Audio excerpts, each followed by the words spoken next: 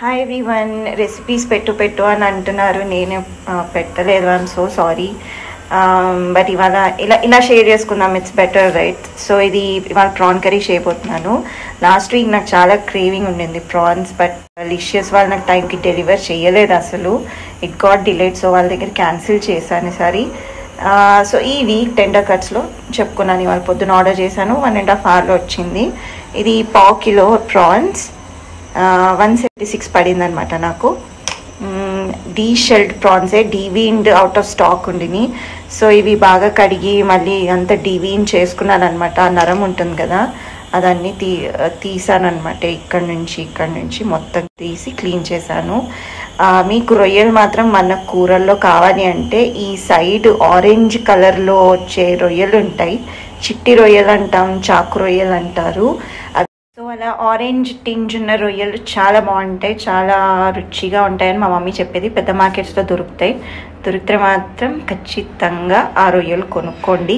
మనకు ఆన్లైన్ అవి దొరకవు ఇలా వైట్వే దొరుకుతాయి ఎప్పుడు. సో నెక్స్ట్ మసాలా చేసుకుందాము. నాకు ఇది యాక్చువల్లీ ఇది నేను ఫోర్త్ టైం ఇది టేప్ చేసిన బికాజ్ అవ్వట్లేదు ఒక చేత్తో. ఇది ఒక వన్ అండ్ హాఫ్ స్పూన్ ఉంటుంది ధనియాలు. దెన్ uh, నాలుగు యాలకులు ఇంత దాల్చిన చెక్క నాలుగు లవంగం అనమాట నేను ఇవి వేసేసి మళ్ళీ చెప్తాను. సీ ఫుడ్లో ఎక్కువ మసాలా పట్టదు. ఎక్కువ చేసి ఓవర్ పవర్ అయిపోతుంది.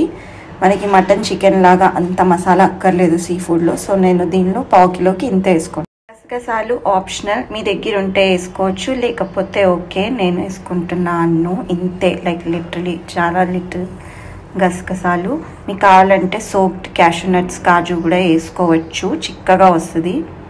సో ఆ పౌడర్ గ్రైండ్ అయిపోయింది కదా. ఇప్పుడు అల్లం వెల్లుల్లి యాడ్ చేసుకుంటున్నాను. వెల్లుల్లిని అల్లం ఇంత ముక్క నేను తొక్కతోనే వేసుకుంటా. బాగా క్లీన్ చేసి సో ఇది కూడా చాప్ చేసి ఈ రెండు కొంచెం వాటర్ వేసి పేస్ట్ లాగా గ్రైండ్. సో ఇది కూరలో పడే ఫుల్ మసాలా. ఇందాక చూపించిన మసాలా జింజర్ గార్లిక్ అంతా నీళ్ళేసి పేస్ట్ చేస్తాను అనమాట ఇప్పుడు ఫోర్ స్లిట్ పచ్చిమిరపకాయలు నిలువుగా కట్ చేసుకొని నా దగ్గర పెద్ద ఉల్లిపాయలు లేవు. పెద్ద ఉల్లిపాయలు అయితే రెండు రెండు మీడియం సైజ్ చాలు. నా అన్నీ చిన్న చిన్నవి అందుకే నాలుగు తీసుకున్నాను. అండ్ ఒక మీడియం టమాటో కూడా చాలు. నా దగ్గర చిన్నవి ఉన్నాయి సో ఇవి తీసుకుంటున్నాను అనమాట సో ఇవన్నీ ఇప్పుడు చాప్ చేసి ఆయిల్లో వేసి సో ఇది పెనంలో ఎంత నూనె అంటే ఇంచుమించు రెండు మూడు గరిటెల నూనె. కొంతమంది ఎక్కువ తింటారు కొంతమంది తక్కువ తింటారు అది మీ ఇష్టం. సో ఇప్పుడు ఇవి చాప్ చేసిన చిల్లీస్ ఇంకా ఉల్లిపాయలు దీనిలో వేసేస్తాను. సో మనందరికీ తెలుసు కదా ఇవి మొత్తం బ్రౌన్ అయ్యే వరకు మగ్గే వరకు ఫ్రై చేసుకోవాలి. సో మూత పెట్టేస్తా. అంతలోపు టమాటోస్ కట్ చేసుకొని పెట్టుకుంటా చిన్న చిన్న ముక్కలు. సో ఇవి మంచిగా బ్యూటిఫుల్ బ్రౌన్ అయిపోయాయి. ఇప్పుడు ఉప్స్. ఈ చాప్ చేసిన టమాటోస్ దీనిలో వేసేస్తాను అనమాట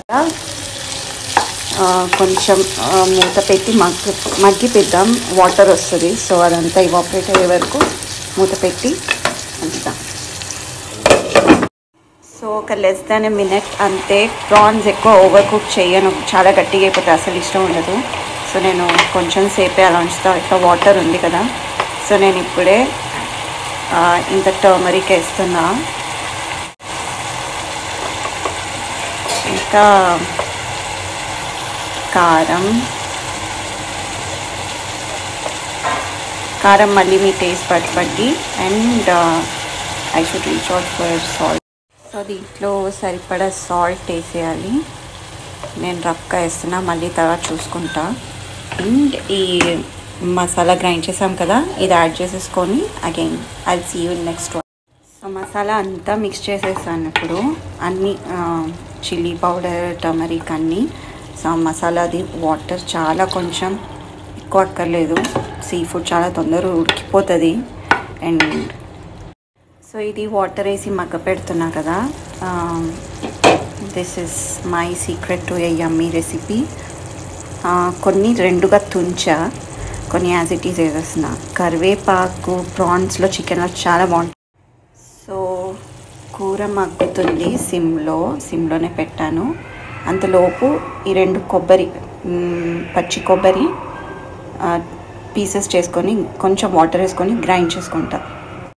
సో కోకోనట్ వేసాక కొంచెం కలర్ ఇలా అవుతుంది. కొంచెం ఉప్పు పట్టింది వేసాను. కోకోనట్ కారం ఉప్పు కొంచెం లాగేస్తుంది సో మీరు టేస్ట్ చూసుకొని టేస్ట్ బట్టి వేసుకోవచ్చు. సో ఇది ఇంకొక less than five minutes so మన కర్రీ అయిపోయింది. ఇంకా కొత్తిమీర వేసేస్తే done so go prawn curry my way or highway actually video తీస్తే డబుల్ టైం తీసుకుంటుంది యూనో అదర్వైజ్ ఎప్పుడో అయిపోయేది. సో ఇది నా curry. It's all done and ready to eat now so కూర దగ్గర పెడితే ఇలా అవుతుంది అనమాట మీకు నీళ్ళగా కావాలంటే నీళ్ళగా కన్సిస్టెన్సీ కూడా చేసుకోవచ్చు. అది మన ఇష్టం. అండ్ ఐమ్ డెవరింగ్ దిస్ ఒక రేంజ్లో తింటున్నా. ఉల్లిపాయ లేనిది నాకు నాన్ వెజ్ దిగదు సారీ సో ఉల్లిపాయ ముద్దలో పెట్టుకొని అలా రొయ్య కూడా పెట్టుకొని ఓం ఫట్ స్వాహ.